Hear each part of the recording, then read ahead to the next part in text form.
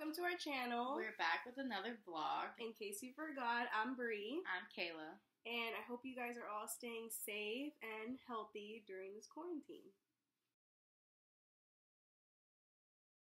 So, this is a continuation to our last vlog. To refresh your memory, the question that we focused on last time is what are the best preventative measures to take to deal with problem behavior?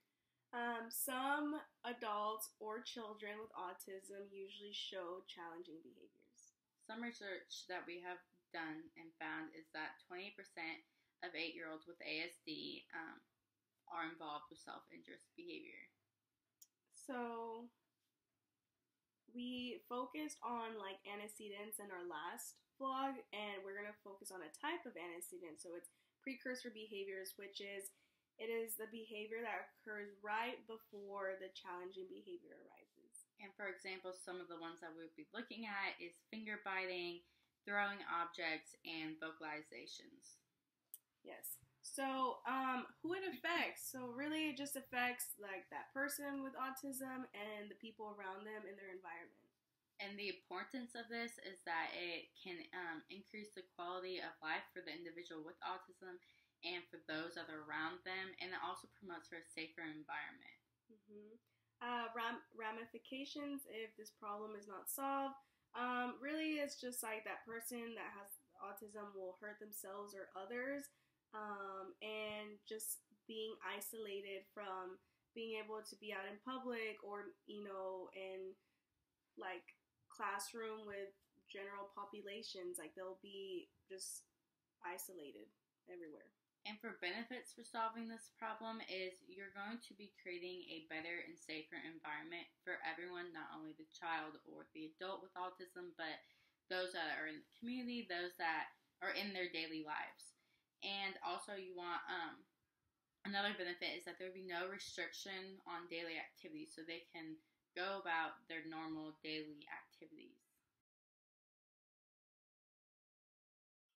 Article that we are going to talk about focuses on precursor behaviors, and the article is called Identification of Environmental Determinants of Behavior Disorders Through Functional Analysis of Precursor Behaviors by Smith and Churchill.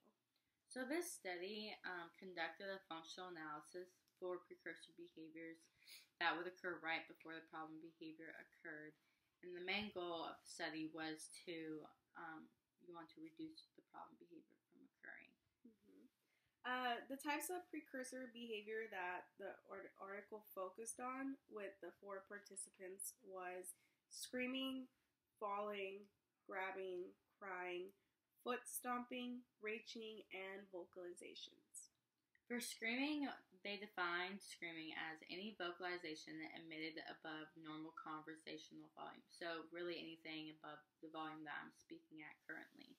Um, grabbing, which is closing of the hand around any body part of another person. So, you know, grabbing wrist, her shoulder, her My hair. neck, anything. yeah, any um, as long as the uh, hand closes. And then for falling, falling is defined as moving from a standing or sitting position to the floor. So if you're sitting in a chair and you fall, or let's say you're just standing up and then you fall to the floor, anything of that sort. Yeah, it's like um, throwing themselves pretty much. Yeah. Uh, crying was defined as audible whining at a volume exceeding of normal conversation. Um, so just yeah, crying, you know. Whining. yeah, it's not. And then for vocalization, they defined it as any audible vocal sound other than laughter. So, me talking, cussing is another vocalization, having conversation. And then reaching was defined as extending the arm towards another. So, So, you know, trying to for- reach for someone or trying to reach for an for object my glasses. to throw, like different things. Yeah, it could be towards somebody or an object or really anything. And then lastly, for foot stomping, it was defined as an audible contact between the bottom of the foot and any stationary object. So hence the audible, so like it makes noise. And then, um, so whether that means your foot is hitting the ground, any type of other object, like maybe a toy, could be even a person or whatnot. Uh, so the four conditions used during this FA were alone, attention, play, and demand. Uh, but one participant did go through the condition of tangible. Yes. And then as a result, the outcomes of the analysis of the precursor behaviors showed a decrease in the risk to participants and even to caregivers, or both, or either or, um, from these dangerous behaviors, which is ultimately the goal that was wanted out of the article. Our conceptualization, um, the behavior definition that we created was um, based on precursor behaviors, which looks like finger biting, throwing objects, and vocalizations. Uh, you know, finger biting is just pretty much what you know it sounds like. You just grab your fingers, bite. It almost looks like nail biting, kind Mhm. of. Uh, and this, you know, it's kind of like a form of anxiety. So, you know, people who just any, there's people who get anxious and they like to bite their hands. So, you know, that's what that looks like. Throwing an Um, object, you know, whether that's just throwing an object into the air or whether that's throwing it at somebody, it can really be either or or both. I Um, I've had you know clients in the past that when they're about to really you know show their challenging behaviors, they start throwing um, objects in the kitchen first. So and any cups that are right there, you know, in reach of them, plates, uh, right before you know they start getting aggressive. as Bri mentioned, I've had clients too where, you know, maybe we're about to do, um, I'm about to demand an educational activity and they're not excited, like happy about it, and they're going to get upset. So, right before they perform this problem behavior, let's say we just had snack time, or let's say we were just playing with the toy, they're going to grab that snack or they're going to grab that toy. They may throw it at me or they may just throw it, but the object is that the reason is that they're going to throw the object before the problem behavior occurs. And uh, well, vocalizations is you know any type of noise made other noise. other than laughter, Other than right? laughter, so well, which we mentioned. cussing, yeah, we mentioned cussing. It can be. High pitched vocalizations, Screaming. whining, like grunting. So um, you really know, a lot. yeah.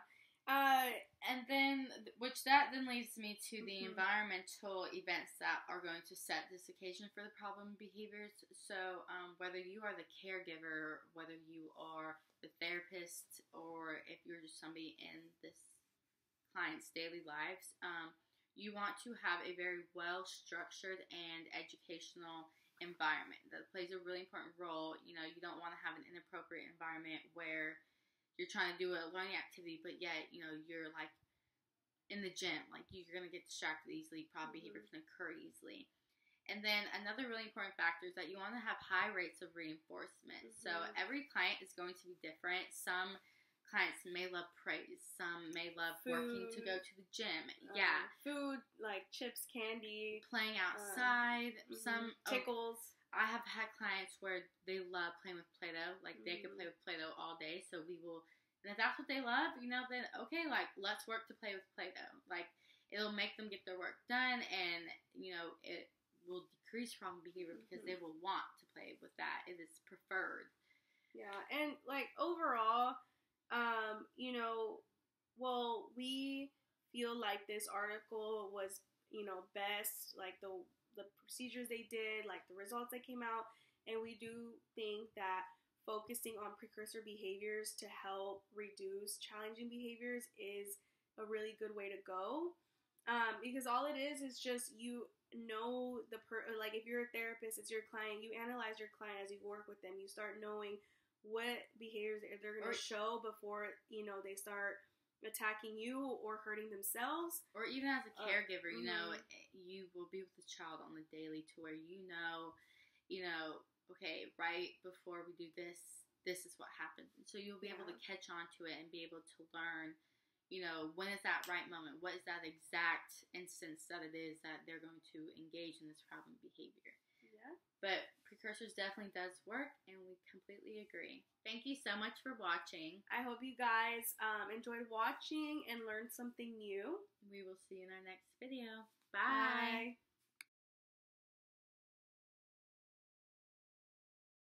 So this is Oh my God, I was like thinking- I felt like it got like so low. You? No. This Oh my last time. Oh. listen.